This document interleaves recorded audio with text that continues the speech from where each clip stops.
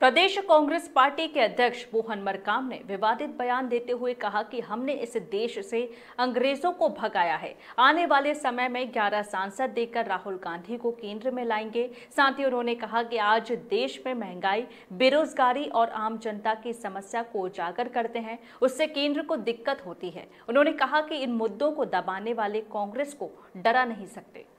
को परेशान किया जाता है।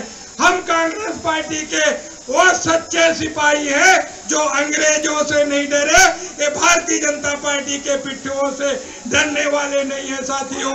आज हमारी सरकार लगातार, आज मोदी जी से मैं कहना चाहता हूँ, आज कांग्रेसियों को डरा नहीं सकते। आज आज कहीं ना कहीं आज मीडिया के माध्यम से मैं कहना चाहता हूँ साथियों, आज कहीं ना कहीं आज जो बातें हैं, मैं मोदी जी के लिए कहना